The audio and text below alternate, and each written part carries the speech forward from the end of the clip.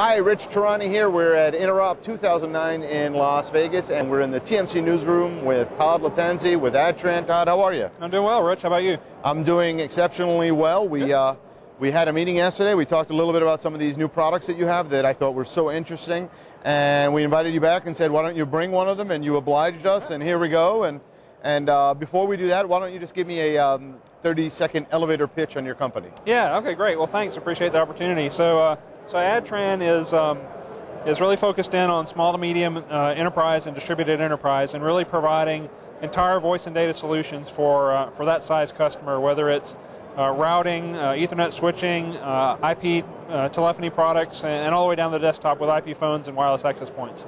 That's great. And one of the areas that you've you've developed a new product in is, is right here, right? It's, yes. a, it's a switching product. That's which, right. Which what model is this? Yep, so this is uh, one of three that we uh, that we uh, announced this week uh, in our NetVanta line. So it's our NetVanta 1544 series, and uh, really geared towards uh, aggregation. Um, so it takes an entire solution now. A, a, partner can deploy an entire Adtran solution now, starting out with some of our workgroup switches, and then aggregating that back into our NetVanta 1544 series.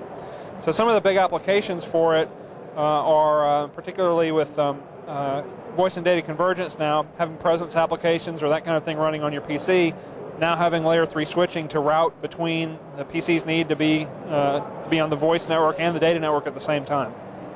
So, what's the response been?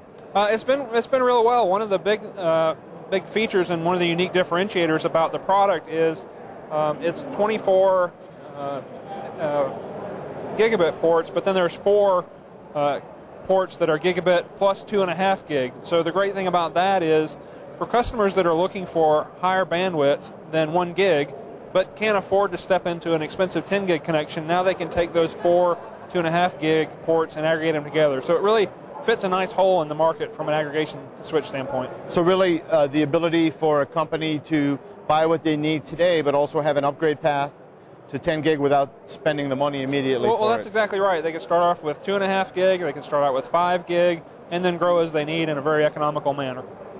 So, is this something that you developed in re- response to customer demand, or just you thought that was the interest the industry would want it? Yeah, so we uh, we did see some interest from the customer base, you know, and, and identified this hole in the market where there was a, a pretty big step between uh, what's commonly out there today with with one gig and, and what's out there with 10 gig. So yeah, it's, it's a little bit of both.